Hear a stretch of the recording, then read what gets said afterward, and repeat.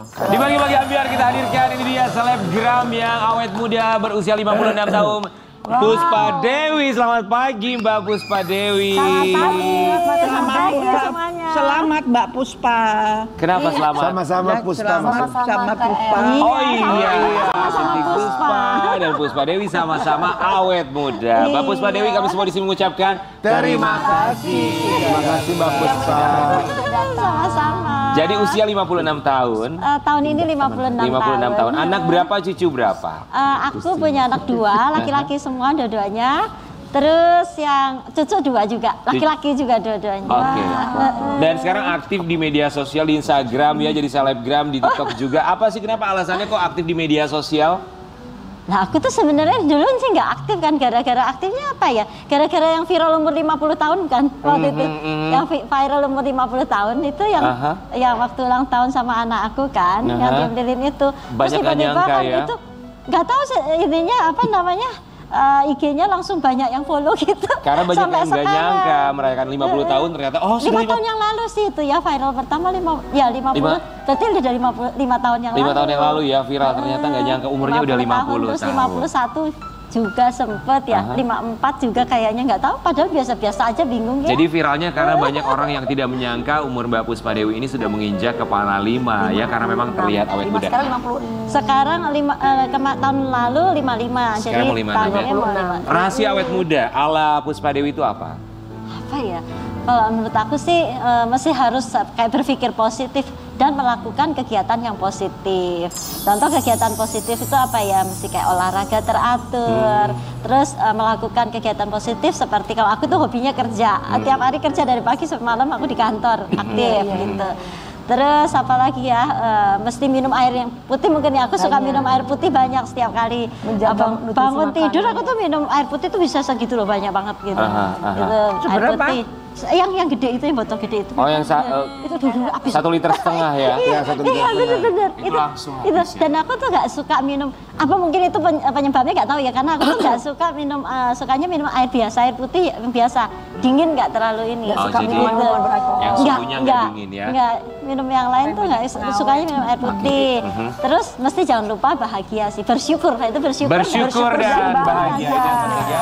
Tapi kita juga tahu Itu ini buat Mbak Puspa Dewi kemarin kan sempat viral di media sosial ada pernyataan dari seorang konten kreator Gita Savitri dia sempat menggelontorkan sebuah statement di mana child free atau tidak memiliki anak bisa membuat orang itu awet muda dan terlihat kalau Mbak Puspa Dewi kontra dengan pernyataannya Gita Savitri betul gimana tanggapannya dari Mbak Puspa Dewi katanya kalau nggak punya anak bikin awet muda Eh, sebenarnya aku tuh di Instagram juga nggak nggak bilang kontra dengan apa kita Safitri sih ya. Aku cuma ada- bilang nggak bilang sosoknya ke siapa. Cuma aku kan lagi rame apa namanya child free itu katanya Bikin bikin, awet awet muda. muda. Iya. Aku cuma tanya yakin. Kalau aku sendiri pribadi sebenarnya aku berpendapat nggak begitu. Jadi Kalau tidak aku tuh, setuju intinya eh, gitu. nggak setuju dengan eh, pendapat kalau child free itu eh, membuat awet muda. Mhm. Karena eh, menurutku awet muda buka, eh, kalau Bukan masalah pilihan dia- child free atau enggak itu emang masing-masing ya. Itu Betul. nggak ada salahnya sih masing-masing pasti mempunyai pilihan dan pilihan yang diambil itu tentu ada konsekuensinya dan dia Pasti. udah tahu Pasti. konsekuensi itu jadi nggak ada yang salah sebenarnya sebenarnya benar-benar aja sah-sah aja. Cuma kalau aku sendiri aku pernyataan yang free bikin awet muda itu yang menurutku aku sih buat aku enggak. Karena buat aku kalau dengan punya anak tuh aku tuh happy banget karena itu suatu anugerah dan itu suatu kebanggaan ya kalau misalkan eh, lah, perempuan punya anak itu kan bangga banget bukan sih ya? Betul, itu suatu bahagia. kebanggaan bahagia. Nah kalau masalah masalah repot pada saat hmm, pada saat Mengurus apa anak? mengurus anak pada saat masih wajar. itu wajar toh ya.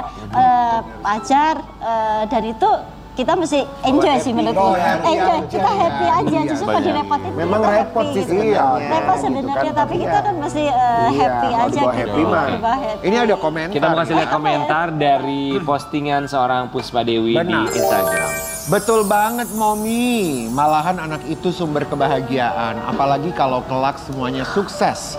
Di situlah kita bangga mendidik betul anak sekali Bu Gita Sap menangis melihat kawetan Oma ini.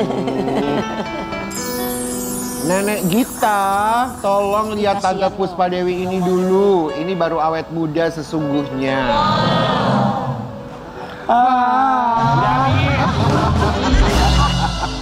Udah habis. kata kata yang gitu bocah-bocah edan iya bocah-bocah. Tapi betul Iya, aku setuju loh. Mbak Puspa Dewi bahwa punya momongan, tidak punya momongan itu adalah hak dan juga pilihan Betul. mereka Iya. masing-masing.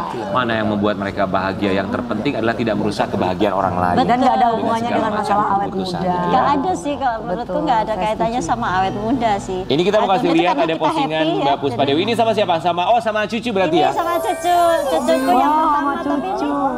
Kemarin, iya kemarin kemarin umur tiga tahun tapi ini fotonya belum umur tiga tahun. Ah, kemarin tanggal oke. 20 umur tiga tahun. Oke, kita mau kasih lihat Iya. foto-foto Mbak Puspa Dewi dengan anggota keluarga yang lain. Ini siapa ini? Ini cucu saya juga yang pertama tapi ini waktu kapan ini Christmas ya. Mhm, waktu Christmas. Eh, Mbak Puspa Dewi, sorry, anak dua ada dua ya? Iya. Dua-duanya laki-laki. Oke, berarti ber- men- menantunya Udah perempuan ya? menantu. Iya. Pertanyaannya begini, menantu suka komentar nggak sih atau suka nanya, Mami, kok Mami kelihatan awet muda, apa rahasianya? Mereka nggak takut tersaingi ya kalau awet muda sama mertuanya? Bisa sih tersaing ya, sama mama mertua. Eh, hubungannya baik-baik aja sih. Pertanyaannya itu loh ya. Tapi kan bisa aja loh, ada menantu sama ngelihat mertuanya, oh mertua aku lebih awet muda dibanding Bukan aku." tersaingi tapi Mantuku termotivasi. Jadi cantik-cantik kok. jangan sampai mengundang orang-orang akhirnya anak-anak jadi malah termerasa bersaing dengan orang tua gitu tuh kan nggak ada. Ada nggak sih minta, apa sih rahasianya Mami suka gitu? Eh, kayaknya dia udah tahu kali kan aku tuh terlalu deket sama mantu-mantuku. tuh udah kayak jadi anak udah gitu ya, kayak anak ya. sendiri. Jadi dia Ya. tahu oh memang mamanya nih eh, kebiasaannya oh suka olahraga, suka ini, suka itu, apa Iya. suka apa de- melakukan hal-hal apa dia tahu gitu. Jadi ya nggak tanya. Terus udah gitu yang kedua juga mantuku tuh cantik-cantik lebih cantik dari aku kok. Tapi ada punya mertua kayak begini baik loh ada di TV nasional. yang mertua Ah, itu aneh-aneh aja netizen loh masa mertua iya. lebih Orang mantuku muda lebih dari cantik menantu dari ada aku. banyak. Banyak Iya. kan ya, banyak. Netizen itu suka-suka Buat banding- Mbak- banding-banding Banding-bandingkan Bener. anak sama orang tua Iya, gimana gitu ya kan. Iya. Ada kan yang selalu membanding-bandingkan dan rasanya manusiawi kalau ada yang membanding-bandingkan juga. Tapi buat Mbak Iya, Puspa Dewi, apa kebahagiaan utama untuk seorang Puspa Dewi? Eh, kebahagiaan aku tuh ya kalau melihat anak-anak itu eh, menjadi sukses ya kan? Eh, kayak sekarang aku sih merasa syukur puji Tuhan alhamdulillah anak-anak saya dua-duanya itu eh, kan pebisnis ya dua-duanya dan eh, dua-duanya mandiri. Ya lumayan sukses lah kata orang-orang begitu ya. Tapi eh, pokoknya bersyukur aja lah. Aku Dan senang dia- sama tante ini, vibes-nya tuh positif senyum aja terus. itu ya. Iya makanya itu loh. Eh, gimana ya? Emang emang begitu dari dulu. Mungkin itu rahasia rahasia awet muda seorang Puspa Dewi. Bukan hanya menjadi bahagia, Jadi begitu lahir, dia begitu lahir. enggak nangis ya.